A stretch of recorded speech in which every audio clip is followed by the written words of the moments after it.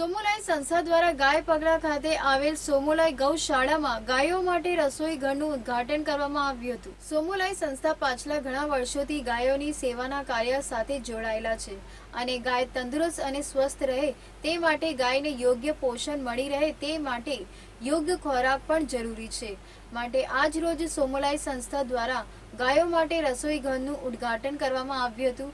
રસોઈ ઘરમાં ઘાસનું યોગ્ય કટિંગ થાય તે માટે મશીન મૂકવામાં આવી છે આ મશીનથી સંપૂર્ણ ઘાસનો ઉપયોગ થાય તે માટે યોગ્ય વ્યવસ્થા પણ કરવામાં આવી છે રસોઈ ઘર માટે શ્રી રાજેન્દ્રભાઈએ સહયોગ આપ્યો હતો આ અંગે વધુ માહિતી સંચાલકોએ એબી ન્યૂઝ ચેનલ સાથે ખાસ વાતચીત કરી જણાવી હતી आपका नाम कैलाश अग्रवाल जी कैलाश भाई आज क्या कार्यक्रम था और कौन सी जगह था ये सोमलाई हनुमान गौशाला सूरत से 35 किलोमीटर दूर कामरेज गाय पगला क्षेत्र में है। इसकी स्थापना 1990 में ज़मीन लेके हमने चालू 1999 में ज़मीन लेके चालू की थी।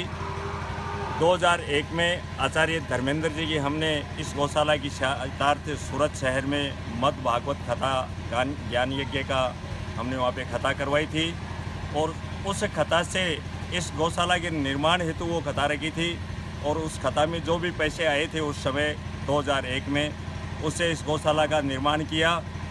निर्माण के साथ साथ 2003 में हमने यहाँ पे सात गायों के साथ इस गौशाला का शुरू, संचालन शुरू किया था। सात गाय हम पथमेड़ा दत्तनानंद जी महाराज की प्रेरणा से यहाँ पे रखी। निरंतर यहाँ पे गौ मेला लगता रहा। कसाईयों द्वारा जा, काटी जाने वाली गायों को गौभक्त बचाते थे। हमारा उद्देश्य यही था कि वो गाय बचें, उनके रखने के लिए कोई स्थान नहीं था।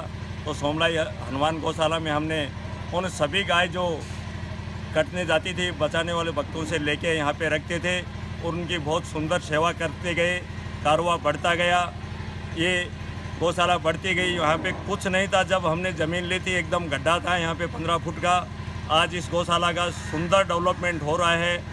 सूरत के गौ भक्त यहाँ पे निरंतर मासिक भंडारे में आते हैं। डेवलपमेंट के लिए लाखों रुपए हमारे को अनुदान देते हैं, जैसी हमारी डिमांड रहती है। यहाँ पे आज के दिन 825 भारतीय नस्ल की गायें हैं। भारतीय मीन्स भारतीय नस्ल, भारत की जो पल्ले वाली गायें अपने वही गायें हम रखते हैं। जर्सी शब्द जो है, वो गाय नहीं होती है और उसको आश्रय हम हमारी गौशाला में नहीं देते हैं। कटने जाने वाली गायों में यदि जर्सी भी कोई बच के आती है तो उसको हम सारवार करके जो जीव दया के यहाँ पे चलते हैं, उनके वहाँ भिजवा देते हैं। लेकिन सोमलाई हनुमान गौशाला में हम शुद्ध भारतीय नस्ल की गाय का ही यहाँ पे संवर्धन करते हैं। दूध का जो उपार्जन इस गौशाला में होता है, वो करीब आज 170 लीटर पर टाइम, यानी पूरे दिन का 340 लीटर दूध का उत्पादन हो रहा है, जो सूरत शहर में अमृत के रूप में बांटा जाता है।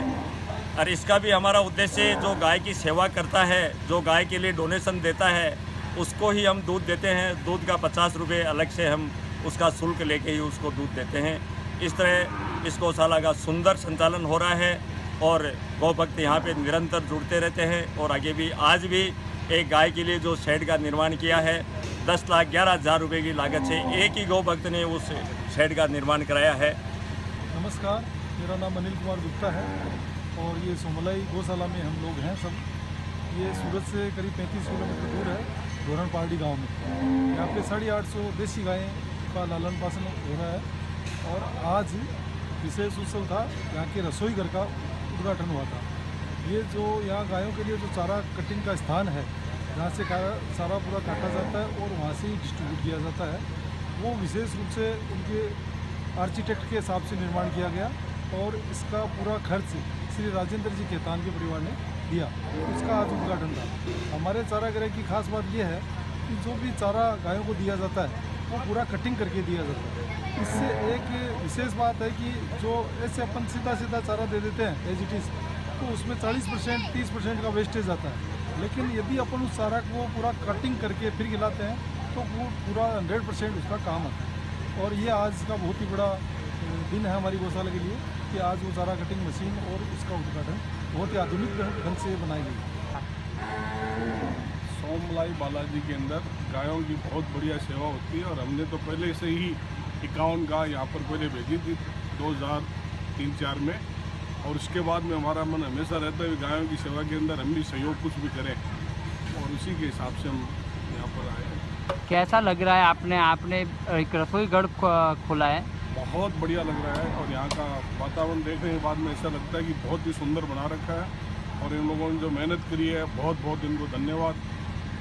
आप पूरी जगह घूमे हो आपको क्या एहसास हुआ? ऐसा लगता है कि जैसे कोई रमणीय जगह के अंदर आके गायों की सेवा जो एक्चुअल हो रही है ना वो सेवा मतलब यहाँ पर हो रही है। आपको लगता है कि शहर के बीच में होना चाहिए कि लोगों आए? नहीं शहर के बीच में नहीं होना चाहिए शहर के बाहर होने से थोड़ा आनंद ज़्यादा आता है। क्या कहेंगे आखिरी में?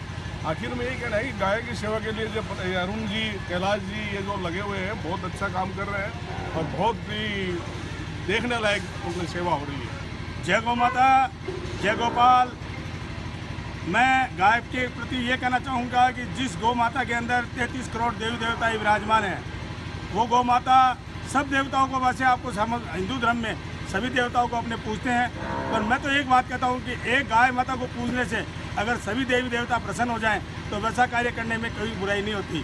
तो मेरा तो एक ही संदेश है, आपके चैनल के माध्यम से, कि गौ माता को, गौ माता सर्वपति माता है, सबसे बड़ी माता है, इसके अंदर सभी देवी देवता है, चाहे वो शिव जी हो, चाहे वो ब्रह्मा जी हो, चाहे वो विष्णु जी हो, और चाहे वो लक्ष्मी जी हो। लक्ष्मी जी का स्थान भी गोबर में दिया हुआ है। तो गौ माता सबसे बड़ी श्रेष्ठ है इसकी सेवा जितनी की जाए, उतनी कम है। मैं आपके चैनल के माध्यम से ये बात कहना चाहूँगा कि आप ये मेरा प्रचार ये प्रसार करें कि ज़्यादा से ज़्यादा लोग गायों को कटने से बचाएँ, गौ माता को रोटी दें, गौ माता के लिए चारा दें तो गायों की संख्या रहेगी, गौ माता रहेगी तो सृष्टि रहेगी और सृष्टि रहेगी तो अपने रहेंगे। और ये जितनी भी आजकल जो बीमारियाँ देख रहे हैं, वो क्या है कि ये गौ माता नहीं होने का ही कारण है।